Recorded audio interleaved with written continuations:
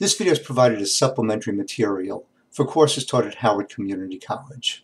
And this video is going to be an introduction to probability.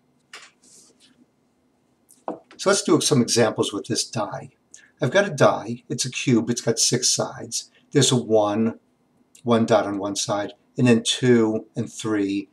There's a four, five, and a six. And I'm wondering, what's the probability of throwing the die and getting a five? Now, when we talk about probability, we can express that as a fraction. We can say the probability of getting a 5 is going to be the number of ways we could get a 5. That would be the numerator of the fraction. And there's only one way we can roll a 5. And that's going to be divided, or over the denominator, and that's going to be the total number of things that could happen well, I could get a 1 or a 2 or a 3 or a 4 or a 5 or a 6. So there's six different things that could happen. The probability of getting a 5, which I'm going to write as a p for probability and then a 5 in parentheses, is going to be 1 over 6. If I wanted the probability, let's say, of getting uh, a 3, a 3 or a 4, well, there's two different ways I could get 3 or 4. I could get a 3 or I could get a 4. So my probability is going to be the number of ways I could get the outcome I'm looking for. I could get the result I'm looking for. There's two ways that could happen. There are six different things altogether that could happen. So the probability of getting a 3 or a 4 would be 2 over 6 or 1 over 3. If I wanted to find the probability of getting an even number, well, on a die, there are three even numbers, 2, 4, and 6. So the probability of getting an even number would be 3 over 6. I can express probability, well, I can reduce this, first of all, that 3 over 6 could be reduced down to 1 half. I can also express probability as percentages or as decimals. So as a percent, 1 half is going to be 50%. As a decimal, I could just write that as 0.5. Okay, now probabilities range from 0% probability to 100%, or in terms of numbers, from 0 to 1. Here's an example of a zero probability. What's the probability of getting a 7. Well, there's no way that I can get a 7. So the numerator of the fraction is going to be 0. There are six different things I can get, so the denominator is going to be a 6. So the probability of getting a 7 is 0 over 6, or 0%. At the other extreme, what's the probability of getting a 1 or a 2 or a 3 or a 4 or a 5 or a 6. Well, those are six different numbers. They're the numbers that are on the die. And so there are six different ways I could throw the die and get one of these numbers. So there are six different ways I could do that. There are six different possible outcomes.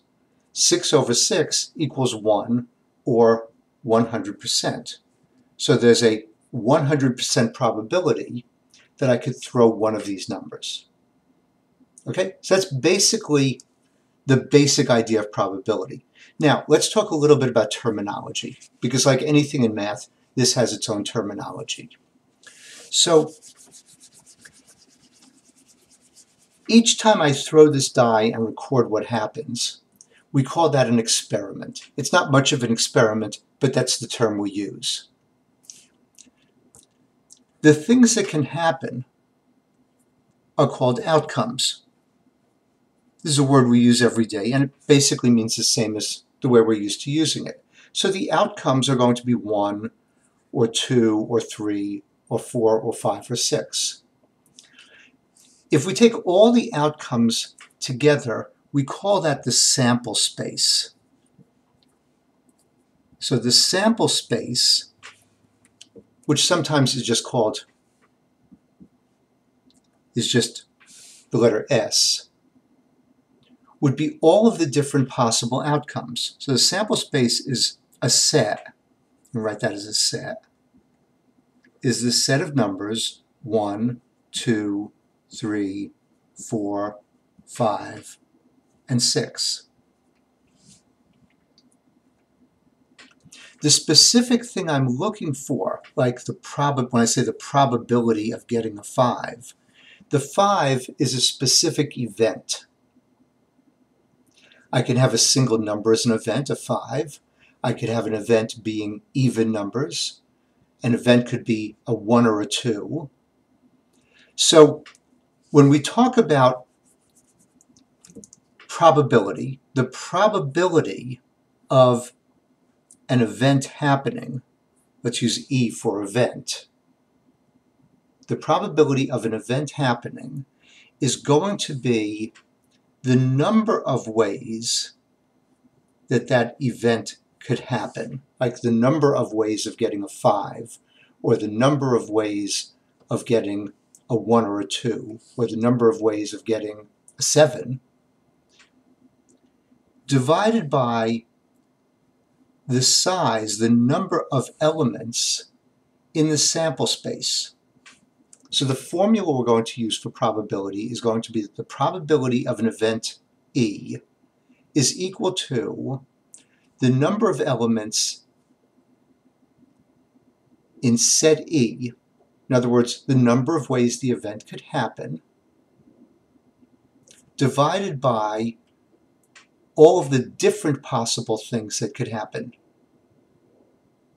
The size of the sample space. Okay? So that's the basic concept of probability. I'll have more videos with some further examples and different other different ways we can look at it. But basically the idea of probability is that you're taking the number of ways an event can happen and dividing it by the number of different possible outcomes that you could have. That's going to give you your probability for that event. Okay, so that's it. Take care. I'll see you next time.